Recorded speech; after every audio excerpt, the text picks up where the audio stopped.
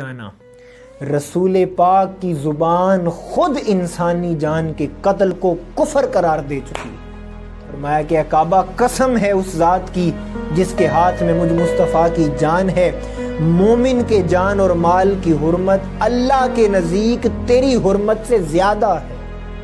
अब आप तस्वुर कर कि इंसानी जान की कीमत अल्लाह और उसके रसूल की निगाह में क्या हो अब एक तरफ़ कुरानिक तस्वुर को सामने रखें और दूसरी तरफ़ हालात हाजरा को सामने रखें। क्योंकि ऐसी जान जिसका कत्ल हराम है, वो शख्स उसके कत्ल को हलाल समझकर कुफर का मुर्तकिब हो गया। बिस्मिल्लाहिर्रहमानिर्रहीम। दोस्तान मोहतरम, हालात हाजरा को सामने रखते हुए। आज की इस गुफ्तगु के अंदर मैं आपके सामने कुरान और हदीस की रोशनी में। ये बात रखना चाहता हूँ कि इंसानी जान की कदर अहमियत क्या है। इस्लाम की नज़र में इंसानी खून की उसकी जान की कीमत कितनी है, ताकि हमारा माशरा इस बात को समझ सके कि इंसानी जान वो कितनी कीमती है। क्या किसी इंसान का खून बस यूँ ही पानी की तरह बहा देना चाहिए? इस्लाम और शरीयत इस बारे में क्या कहती है? इस मौजू की बुनियाद के लिए मैंने कुरान पाक की सुर अलमायदा आयत नंबर 32 का इंतखब किया है, जिसमें अल्लाह पाक ने इरशाद फरमाया, मन कतल नफसम बगैर नफसिन, औ फसाद फिल अर्दी फ़का कतल नास जमिया। बड़ी मारूफ आयत है कि अल्लाह पाक ने फरमाया, मन कतल नफसम बगैर नफसिन कि जिसने किसी शख्स को बगैर किसास के, औ फसादिन फिल अर्दी या ज़मीन में फसाद अंगेज़ी के बगैर कत्ल कर दिया। फ़का अन्नमा कतल नास जमिया तो गोया उसने सबको कत्ल कर दिया। यानी जिसने किसी को नाहक कत्ल कर दिया, कुरान कह रहा है, उसका नाहक किसी एक को मारना, कत्ल करना ऐसा है जैसा उसने सबको कत्ल कर दिया, पूरे माशरे को कत्ल कर दिया। अब ये आयत इंसानी जान की, उसकी कदर, उसकी अहमियत, उसकी कीमत उसकी शान को वाजे कर रही है कि अल्लाह की निगाह में, कुरान की निगाह में, दीन की निगाह के अंदर इंसानी जान की कीमत क्या है? अब इस आयत के बाद मैं कुछ आइमा की तफासिर और अकवाल आपके सामने खुलासा तन पेश करूँगा। दोस्तान मोहतरम, जैसे फ़िक के अंदर हमारे इमाम इमाम आज़म अबू हनीफ़ा रहमतुल्लाहि ताला हैं, उसी तरह अहले सुन्नत के अकायद में जो इमाम हैं, वो हैं इमाम अबू मंसूर मातुरीदी। उन्होंने मन कतल नफ्सम बिगैर नफ्सिन, इसके तहत, इसकी तफसीर में इंसानी कत्ल को कुफर करार देते हुए, कुफर करार दिया उन्होंने। फिर उसके बाद वो लिखते हैं कि जिसने किसी ऐसी जान का कत्ल हलाल जाना जिसका नाहक कत्ल करना अल्लाह ताला ने हराम कर रखा है। तो गोया उसने तमाम लोगों के कत्ल को हलाल जाना, क्योंकि ऐसी जान जिसका कत्ल हराम है, वो शख्स उसके कत्ल को हलाल समझकर कुफर का मुर्तकिब हो गया। यानी वो काफिर हो गया जिसने किसी के किसी के कत्ल को हलाल जाना। जिसका कत्ल हराम था, उसने उस हराम को हलाल जाना। इमाम अबू मंसूर मातुरीदी कहते हैं कि वो उस शख्स के कत्ल को हलाल समझकर कुफर का मुर्तकब हो गया। इमाम अबू मंसूर मातुरीदी ने इस आयत की मन का तल नफ्सम बिगैरी नफ्सिन की तफसीर में ये लिखा। उसके बाद आइए, अलामा अबू हफ्स अलहम्बली अपनी तफसीर अल्लुबाब में वो लिखते हैं, इसी आयत की तफसीर के अंदर। फरमाते हैं कि एक इंसान के कत्ल को पूरे माशरे के तमाम लोगों का कत्ल करार देते हुए अलामा अबू हफ्स अलहम्बली, उन्होंने पहले तो एक इंसानी जान के कत्ल को पूरे माशरे का कत्ल करार दिया। फिर उसके बाद अलामा अबू हफ्स अलहम्बली ने आइमा के अकवाल को नकल किया है। उन अकवाल के अंदर हज़रत मुजाहिद, हज़रत कतादा और हज़रत हसन बसरी का कौल है, जिनका खुलासा आपके सामने पेश कर रहा हूँ। हज़रत मुजाहिद ने, वो फरमाते हैं कि जिस शख्स ने एक जान को भी नाहक कत्ल किया, वो उस कत्ल के सबब दोजख में जाएगा।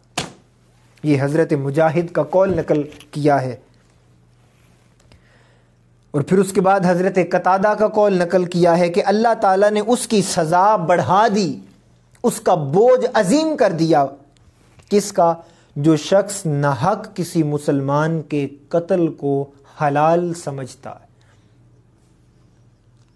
फिर उसी, इसी तरह हज़रत हसन बसरी का कौल भी उन्होंने नकल किया और इसी आयत की तफसीर के जैल के अंदर सुर अलमायदा की जो आयत मैंने तिलावत की शुरू के अंदर तो हज़रत हसन बसरी फरमाते हैं, जिसने नहक एक जान को कत्ल किया, उस पर उसके कत्ल का किसास वाजिब होगा।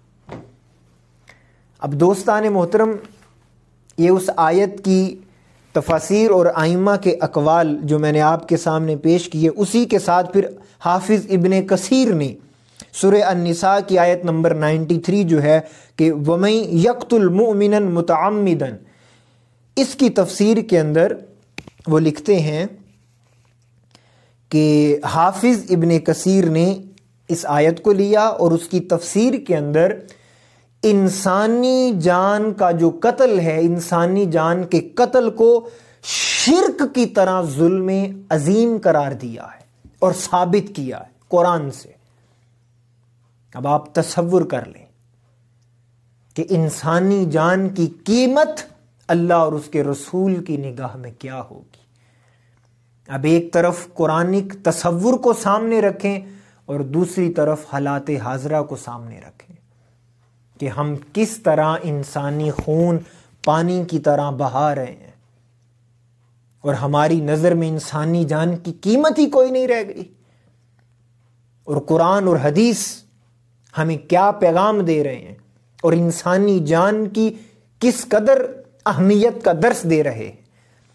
फिर उसके बाद अब जो आपके सामने बात पेश करने लगा हूँ आय, आयत की इन तफासिर के बाद और अकवाल के बाद एक हदीस मुबारक आपके सामने पेश करने लगा हूँ।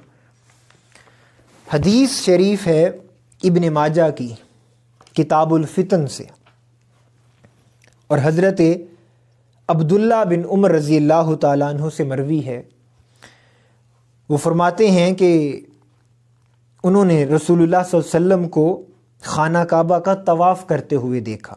यतूफ़ बिल काबा थी व यकूल मा अतयबा की व अतयबरी हक मा अज़मा की व अज़मा हरमतक। वल्लजी नफ्स मोहम्मद बियादी।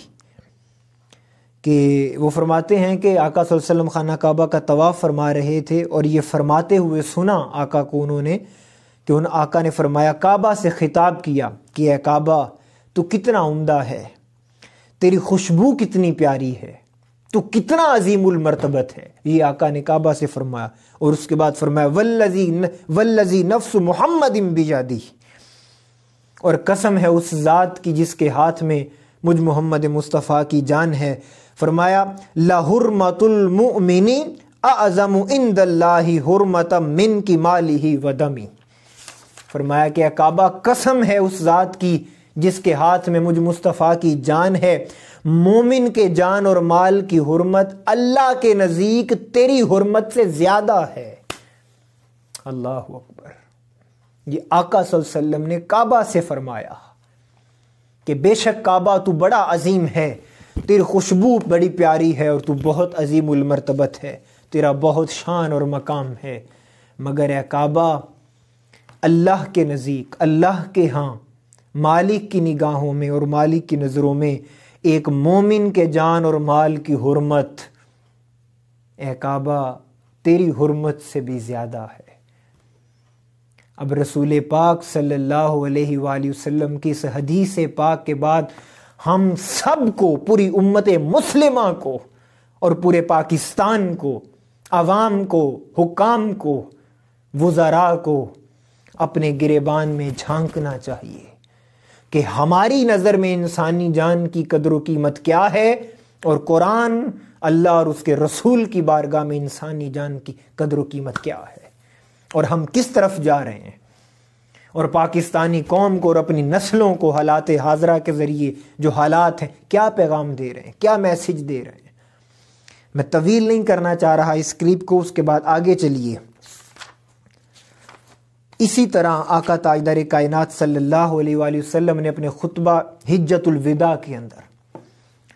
अब ये बात बहुत काबिल गौर है, बहुत काबिल गौर है कि आका वसल्लम ने खुतबा हिज्जतुलविदा के मौका पर क्या फरमाया। इंसानियत को, मुसलमानों को मेरे आका ने क्या पैगाम दिया और किस चीज़ की तरफ़ मुतवजह किया। और ये चीज़ जो बयान करने लगा हूँ, ये सही बुखारी शरीफ, किताबुल हज से। और हदीस नंबर 1654 है।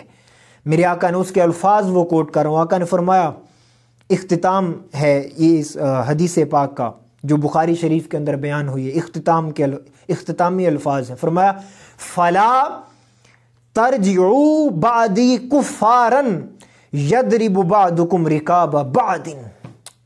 मेरे आका ने फरमाया, सुनो गौर से, मुसलमानों, सुनो। मेरे बाद एक दूसरे को कत्ल करके तुम काफिर ना हो जाना। फला तरजी उबादी कुफारन यदरिबादुकुम रिकाब बादिन। सुनो मेरे बाद एक दूसरे को कत्ल करके काफिर ना हो जाना। रसूल पाक की ज़ुबान खुद इंसानी जान के कत्ल को कुफर करार दे चुकी है। अब इससे बड़ी दलील और बड़ी हुज्जत और बड़ा सबक कौन हस्ती दे सकती है? और कौन समझा सकता है? मेरे आका ने यह बात खुतबा हिज्जतुलविदा के मौका पर फरमाई। और फिर इसी तरह अख्ताम करना चाहता हूँ। आका ताजदार कायनात सल्लल्लाहु अलैहि वसल्लम ने फरमाया, और ये बात भी बहुत काबिल गौर तवज्जो के लायक है, वो क्या? कि बुखारी शरीफ किताबुलफ़ितन से मेरे आका वसल्लम ने फरमाया कि ज़माना करीब होता जाएगा, इल्म घटता जाएगा, कम हो जाएगा इल्म, बुखल पैदा हो जाएगा, फितने ज़ाहिर होंगे और हर्ज की कसरत हो जाएगी। आका ने फरमाया, हर्ज की कसरत हो जाएगी। वयकसुरुल हर्जु, फिर इस पर कौल या रसूल अयुमा हुआ।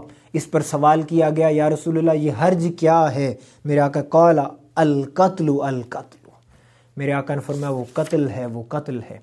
हजूर का दो मरतबा कत्ल का फरमाना इस बात की तरफ़ इशारा कर रहा है कि कत्ल आम होगा और कत्ल आम ही हर्ज है। कत्ल आम, उसकी कसरत हो जाएगी। एक दूसरे की जानों को कत्ल कर दिया जाएगा। इंसानी खून पानी की तरह सस्ता समझा जाएगा। और दोस्तान मोहतरम, अब इन आयात को, इन अकवाल को, इन अहादीस को अपने सामने रखें और फिर हालात हाजरा को देखें और जायज़ा लें और सोचें कि हम किस तरफ़ जा रहे हैं और कहाँ, किस तबाही के दहाने दहाने पर हम खड़े आखिरी हदीस पाक बयान करना चाहता हूँ इस मौजू पर कि आका ताजदर कायनात सल्लल्लाहु अलैहि ने फरमाया, हज़रत अब्दुल्ला बिन अमर रज़ी अल्लाह तु से रिवायत है और हदीस तिरमजी शरीफ की है। हदीस नंबर है वन थ्री नाइन फाइव मेरे आका ने फरमाया लाजवाल दुनिया अहवन अल्लाही मिन कत्ल रजुल मुस्लिम। अब ये बात बड़ी काबिल गौर है। आका ने फरमाया, सरकार करीम वसल्लम ने इंसानी जान की अहमियत को वाज करते हुए ये बात फरमाई, फरमाया कि अल्लाह ताला के नज़दीक, लजवाल दुनिया अहवन अल्लाह ही अल्लाह ताला के नज़दीक एक मुसलमान शख्स के कत्ल से पूरी दुनिया का नापैद हो जाना हल्का है। यानी कि पूरी दुनिया तबाह हो जाए या नापैद हो जाए, ये हल्का है और इसके मुकाबले में ये भारी है कि एक इंसानी जान का कत्ल हो जाए। बस दोस्तान मोहतरम, यही पैगाम आपके सामने मैं पेश करना चाहता था। अल्लाह पाक की बारगाह में दुआ है कि मालिक कायनात हमें कुरान और हदीस के इस पैगाम को, शरीयत और दीन इस्लाम के इस पैगाम को समझने की तोफ़ी अता फ़रमाए और हमें इंसानी जान को अहमियत देने की तोफ़ी अता फ़रमाए और अल्लाह पाक इस वतन पर उस वतन के लोगों पर अपना ख़ास फजल और अपना ख़ास करम फरमाए। और आप तमाम दोस्तों से गुजारिश ये है कि इस पैगाम को ज़्यादा से ज़्यादा शेयर कीजिएगा कि शायद जो लोग इंसानी जान को कीमत नहीं देते और चंद टकों के लिए किसी का कत्ल कर देते हैं, अल्लाह पाक शायद उनको इन क्लिप के ज़रिए तोफ़ी दे दे। असलकम वरहमल वर्का